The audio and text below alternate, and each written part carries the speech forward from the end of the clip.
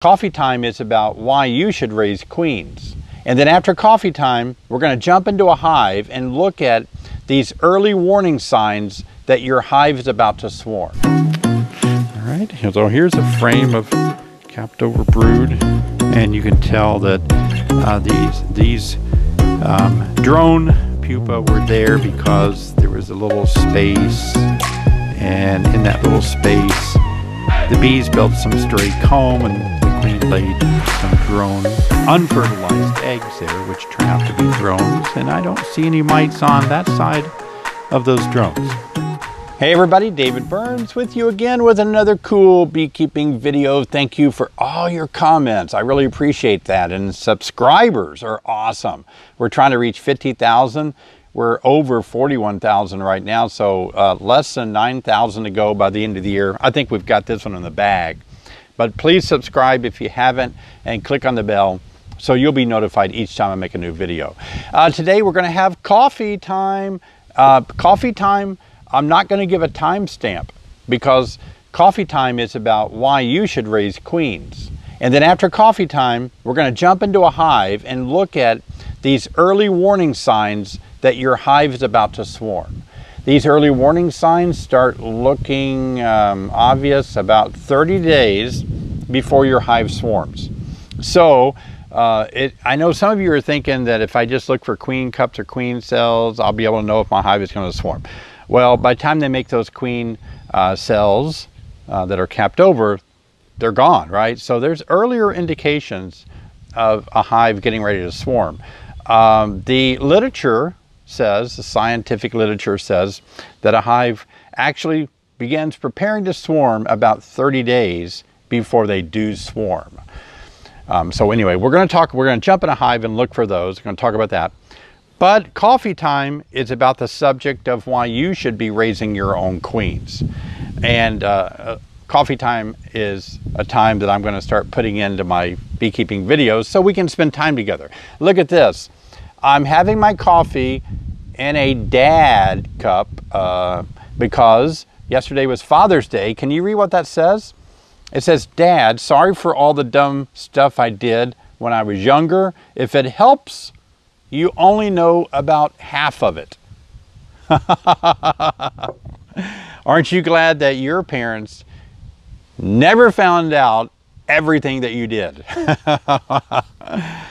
Oh boy, I have six children and 11 grandchildren, so I get a lot of gifts and uh, encouragement during Father's Day, which was yesterday for me, and it was cool. Uh, I really enjoyed it. I got some gift certificates, which I love, uh, at my favorite stores. Um, my, a lot of my kids give me Amazon gift cards. We live out in the country. We live 20 miles from the nearest uh, store. And so it's easy for me to buy stuff on Amazon because they bring it right here and put it in my hands. I don't have to go anywhere. And um, yeah, I like supporting small businesses. That's what we are. And I do that as much as I can. But things that I just have to drive 25 miles to a store, um, uh, especially a big box store, uh, I just assume get off Amazon. Um, but I do appreciate uh, my children really treating me great. They're, I have great, great children. I have three sons and three daughters. And five of my children are grown and married outside the home, of course, with, like I said, 11 grandchildren. And then Christian, our 12 year old, is still living at home and uh, we enjoy him so much. In fact, Christian got me this, I'm sure with the help of his mom.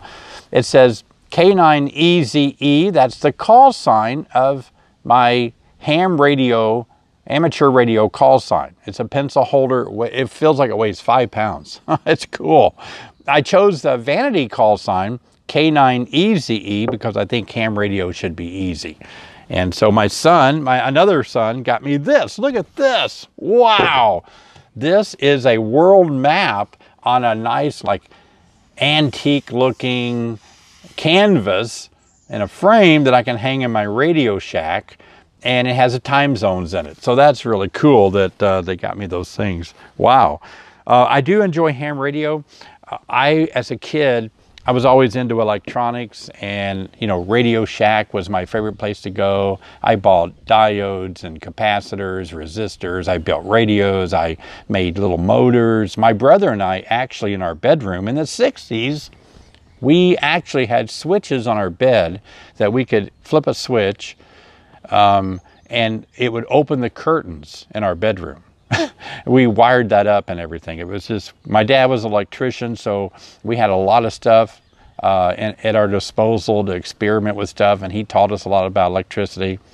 Um, I had an oscilloscope in my bedroom as a kid. I had I had walls of electronic things. Uh, most kids have toys and books or whatever.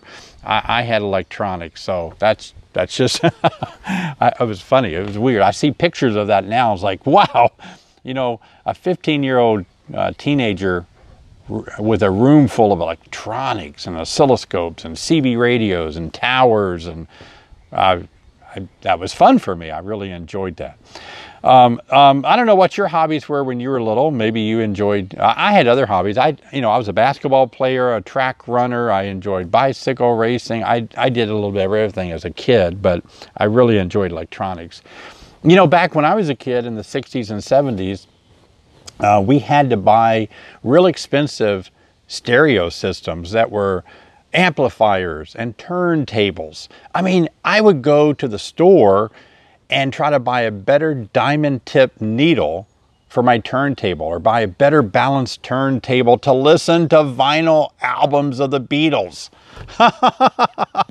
you remember those days? I mean, wow, that was we made that that was beautiful music coming off that turntable on, through the amplifier, through big speakers that made of wood. And I mean, now you can, you can buy something this small that's a stereo and it has digital files and it sounds tons better than that thousand dollar stuff we we had to buy back in the 60s and 70s I, i'm hitting home with some of you not all of you but some of you are going whoa yeah i had one and one of those stereo systems that was cool wasn't it uh, before we get too off subject, I want to talk to you about why you need to be raising queens.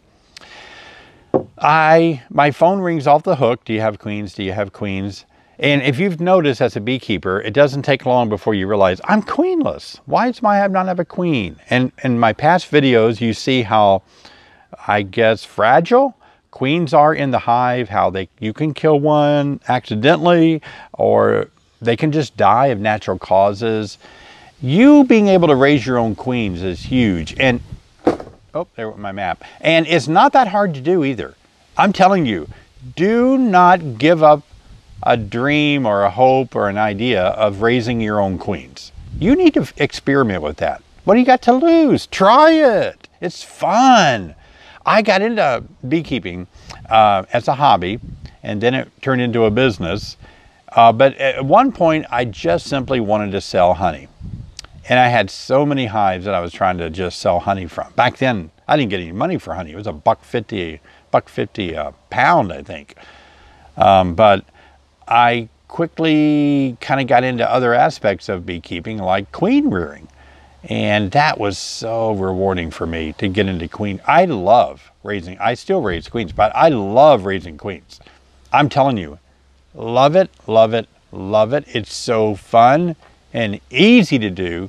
And if you can raise your own queens, whether it's just making, you know, five queens a year for yourself or 10 or making a hundred to sell to other people, you'll find that it really uh, gives you an edge on how to keep bees.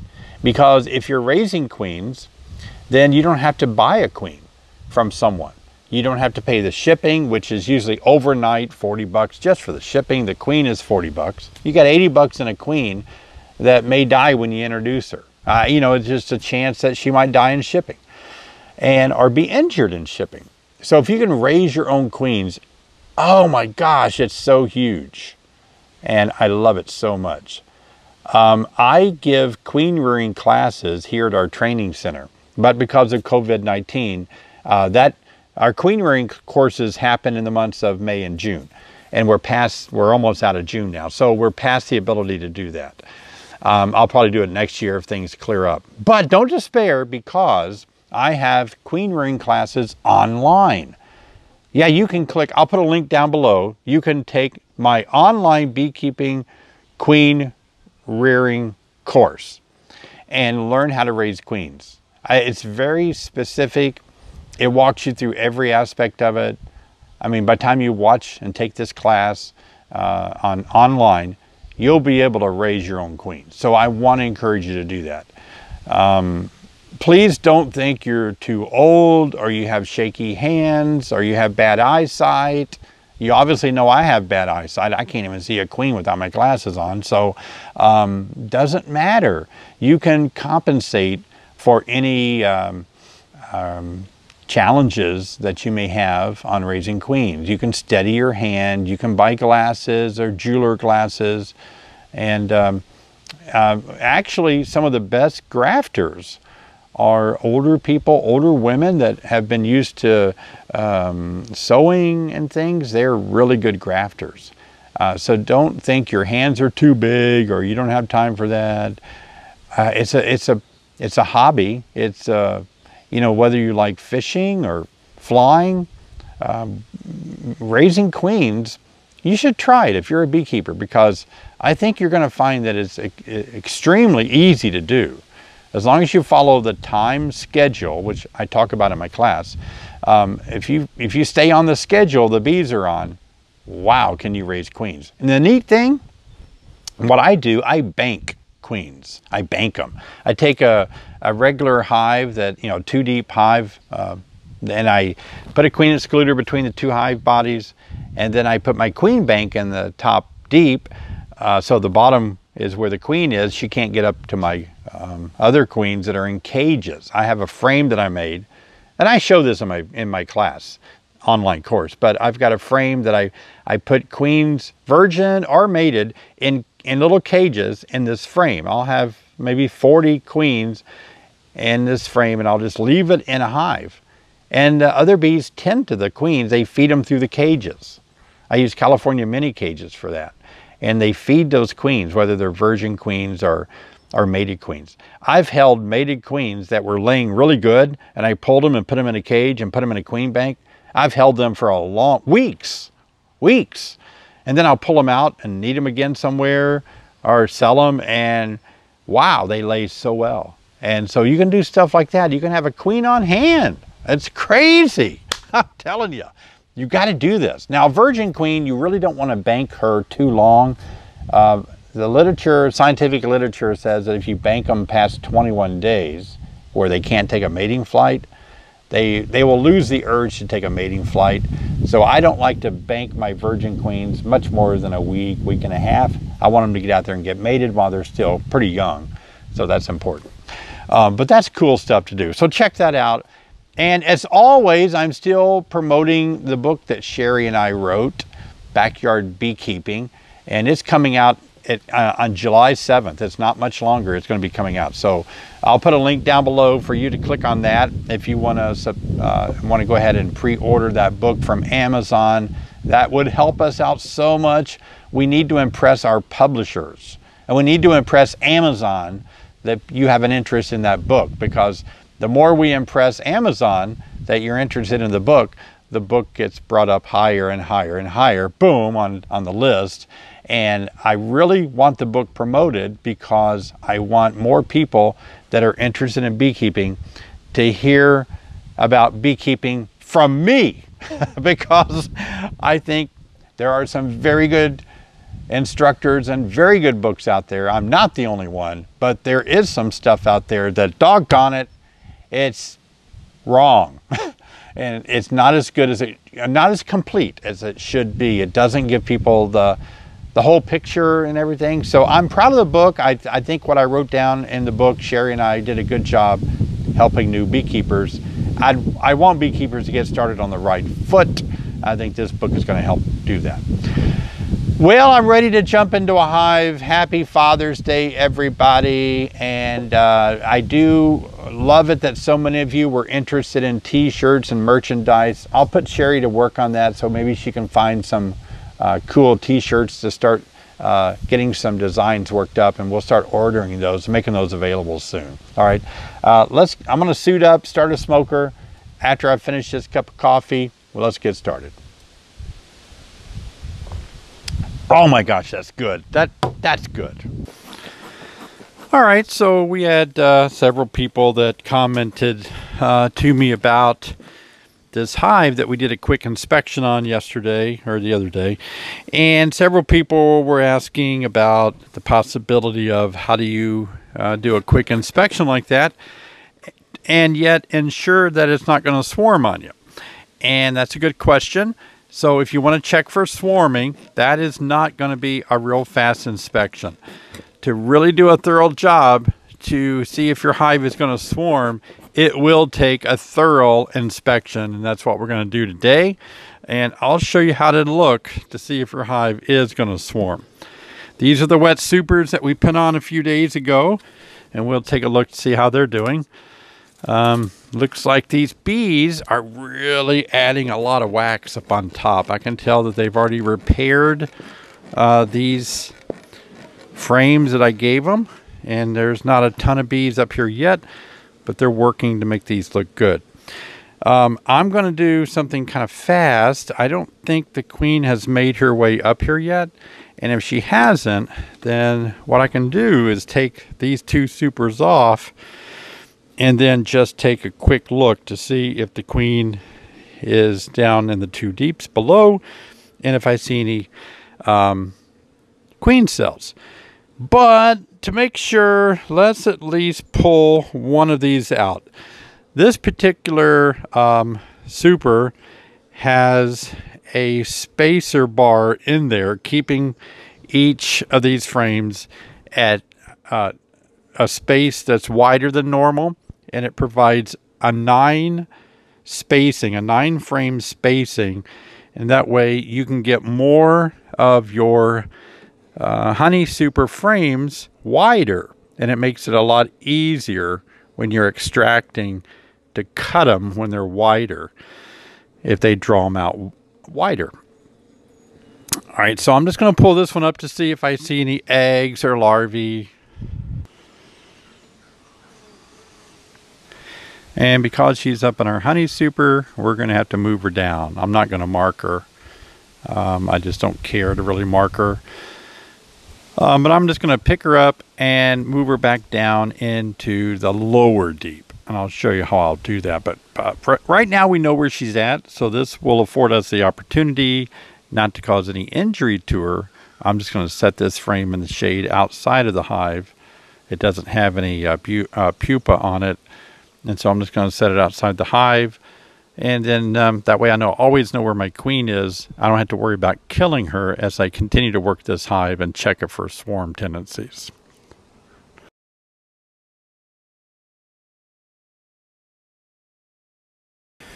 Since we know where our queen is, uh, she's parked over there on a frame by herself, right over here walking around. I don't have to worry about her. So I I want to see if this particular hive may be getting ready to swarm or have any tendencies to uh, swarm within the next 30 days. So what I'm going to do is just open her up and take a look. So we're going to get rid of this super here. I like to separate my boxes and then I like to smoke between the boxes. Uh, some of you ask, how do you avoid getting stung? If I did that to my hive, they would kill me. I don't know. Is it because I'm smoking like this between boxes? That smokes the top box and the bottom box at the same time. And then I want, I always work in slow motion like this. No fast movements. Let them get used to the sunlight. I'm also aware to keep my smoker going. And I'm also aware that I can't spend all day in the hive. I can't leave this open for, you know, 35, 40 minutes. I need to keep working. That's about how much I smoke it. I'll smoke the entrance again. All right. And then now what I want to do is uh, just take a look at these frames. It looks like there. this hive really has a lot of propolis. It's insane how glued together it is. It's very challenging to get this apart. I think of all the hives I've ever worked, this has got to be the one that has had the most propolis on every frame, every little connection point. It's insane. And it makes it harder to work because it gets on my fingers and I have trouble pulling a frame up like this because it's just so sticky. All right. I'm wanting to give myself some space. Uh, there's some bees uh, putting nectar on frames like that. And remember, we already took our queen out, so we don't have to give her another thought. Now, I just want to see uh, what I'm looking for is do they have enough space to expand so that they don't swarm because they're congested? Or um, are they getting ready to do a reproductive swarm, meaning that a hive just wants to make another hive, another colony, I should say, and so is that what's going on? We want to look for queen cells or queen cups. Wow, that's glued down so tight. All right, trying to break everything loose.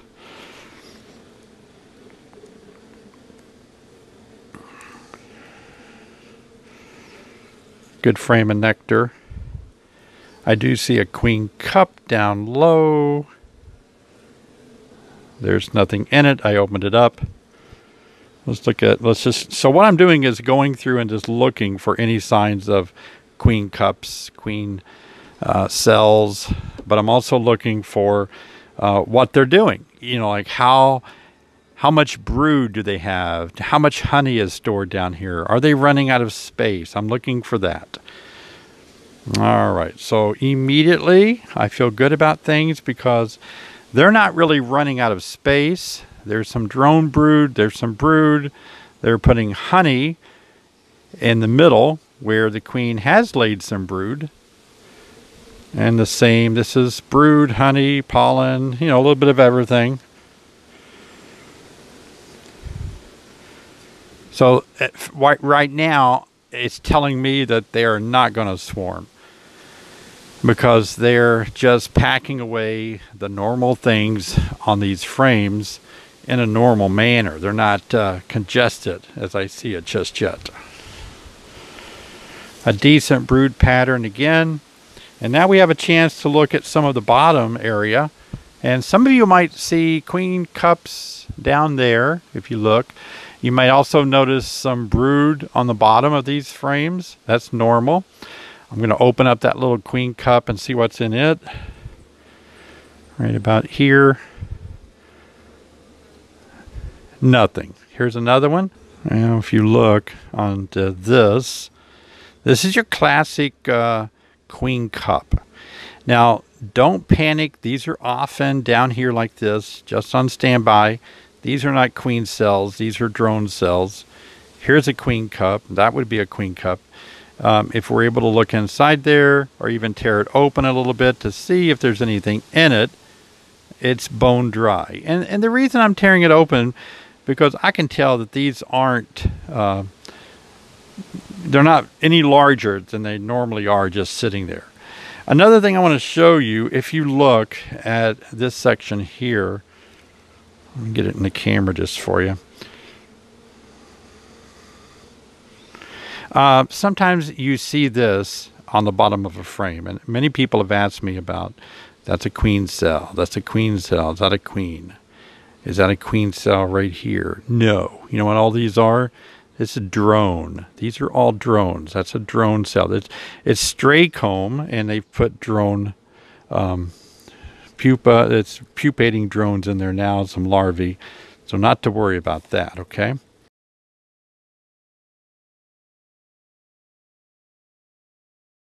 Uh, this is a nice frame of little brood in the middle, mostly nectar. These are all drone cells at the bottom.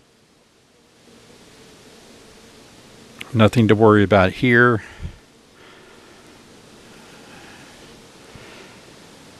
Drones, that's a drone cell there that's not capped over all the way.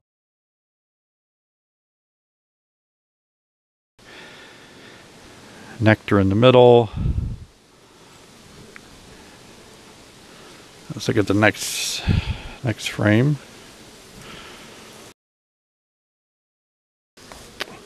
All right, so here's a frame of capped over brood. As you can see, that looks really good.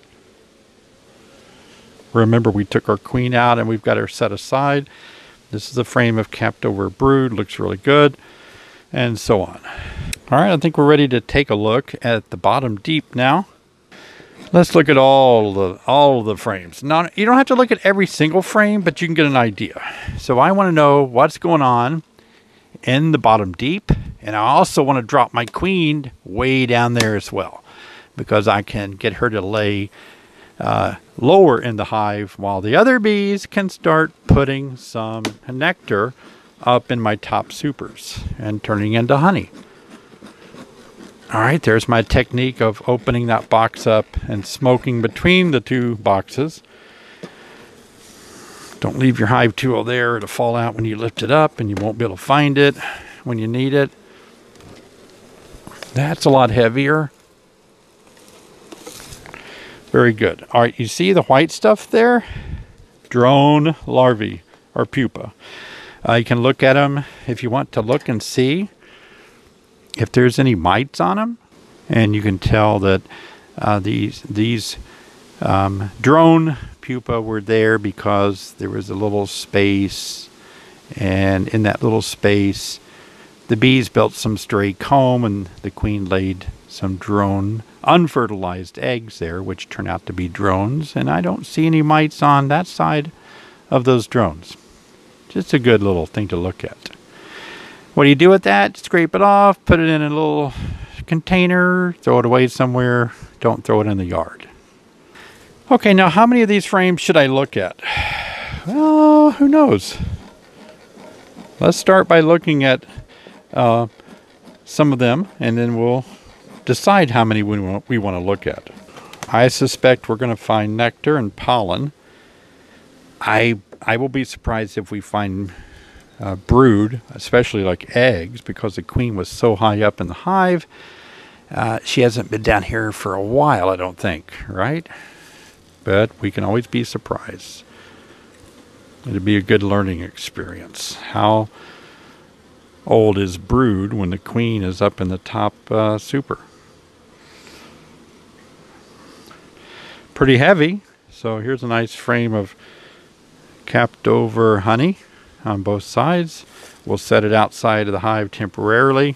Remember, we parked our queen safely on another frame outside the hive. Otherwise, I wouldn't want to lean every little frame against the hive that the queen could possibly crawl off of. But since my queen is safely tucked away, I don't have to worry about that.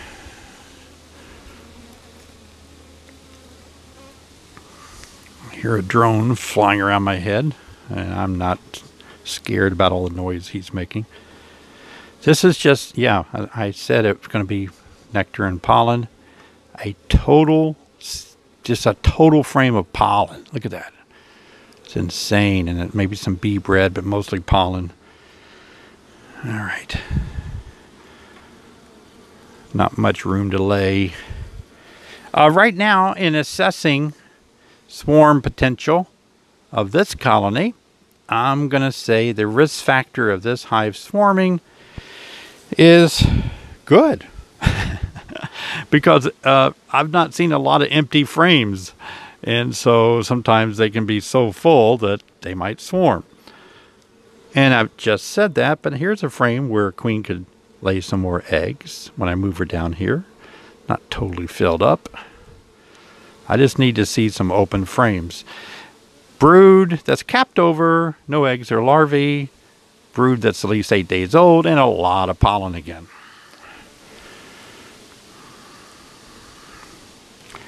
Interesting place to put pollen for those of you in the in the north like I am. When bees overwinter, they need the pollen, the protein of pollen, and we're finding a majority of the pollen so far is really low in the hive. In the wintertime, when bees actually uh, overwinter, they begin to move upward, and they would move away from that pollen.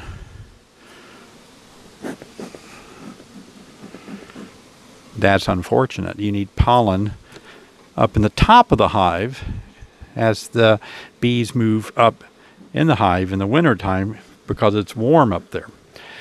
That's why we make the Winter-Bee-Kind feeding system with protein in the top of the hive all winter long. That's so nice.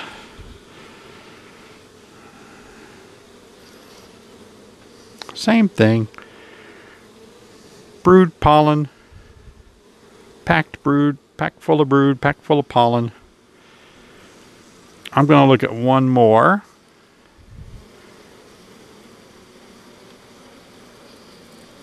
And I'm going to smoke it again.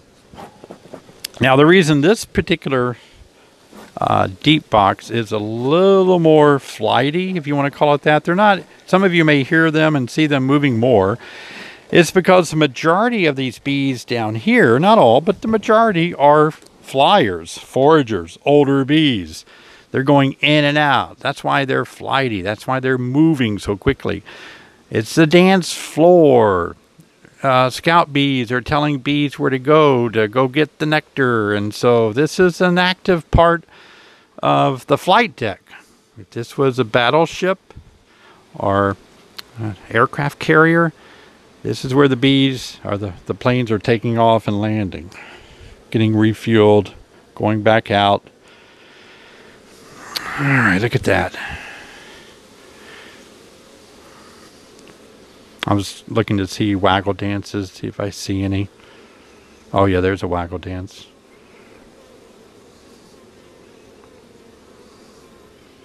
Let's see if I can show you that when I do the video edit. She's not a well coordinated waggle dance, but there are some waggle dances going on. The flight deck, these are scouts coming in telling everybody where to go to get the nectar. I'm really done looking because all I am seeing now down here we do see some six day old larvae. So the, the queen was down here six days ago. And look how fast she traveled back up to the very top of the hive to lay up there. See the six day old larvae there? All right. Now let's move our queen in position. Let's go ahead and put all the frames back in this column, in this uh, deep box. Uh, I think some of you are like, would you scrape off the drones? David, get rid of those. All right. I don't want to kill a bee while I do it.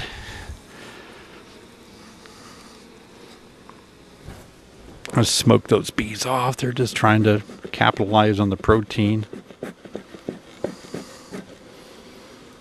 There's a bee on my hand. All right, well, good. I got a special place. I'm going to set this for now and clean it up in a minute. All right. Uh, we have a frame of honey. I don't want to drop it back in the middle. We have reached the um, part of the inspection where we need to finish. Not that the bees are getting impatient with us, but I, I just know that you don't want to go much longer than what we've gone here. So we're going to just drop this frame in, drop our queen in, put our hive back together, and then after that, we will discuss what we saw and if we need to do something to prevent swarming.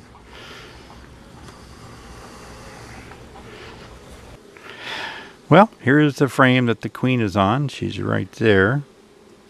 So what we want to do is pick her up and set her down into the deep.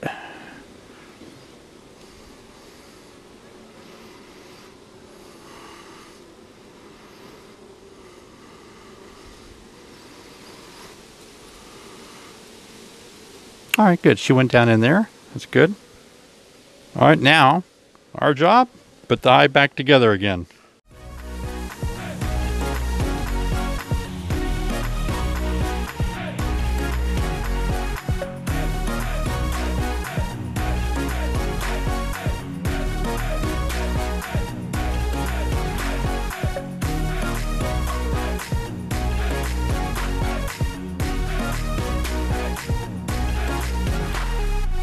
Okay, so well, let's just summarize what we did in the hive today.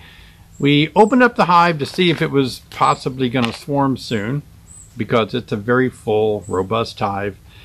Um, gave them a super, another super, they have two on there now, but gave them a super about a week ago and the queen already made her way up there and started laying.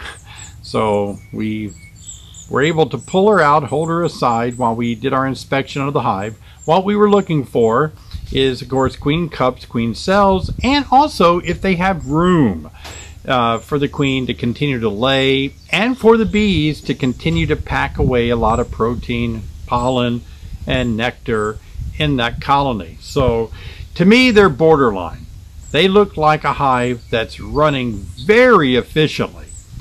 But I mean, you could not get a hive to be more close to running at maximum wanting to swarm than that one. So in other words, they are swarm potential. But because it's so late in the year and because they do have two supers on there and I didn't see any queen cells that had eggs or larvae in them, I'm going to keep my fingers crossed. I'm going to go back in 10 days and inspect again to make sure. So if I look every 7 to 10 days for queen cells that uh, may be developing queen cups with eggs or larvae, then I can uh, get in there and do something before half of them leave because I they're a good honey producing colony right now. So what we're going to do is say, no, we're not going to do anything at all. Let's just keep an eye on them. They're running good. We do have our queen isolated. You probably saw in the video that I used the queen excluder down in the bottom uh, deep, or the, the two deeps. I put a queen excluder between uh, the final uh, second deep and the honey supers to keep the queen out of my supers. I'd rather have the honey than to have brood up there. Um, but everything looked pretty good. It was a good inspection. Uh, talking about swarming, um, I mentor over 200 beekeepers around the U.S. Uh, through BeeTeam6. And today I just sent out this newsletter to all my BeeTeam6 members uh, that subscribe to this and it's about uh, swarming, queenlessness, and adding supers.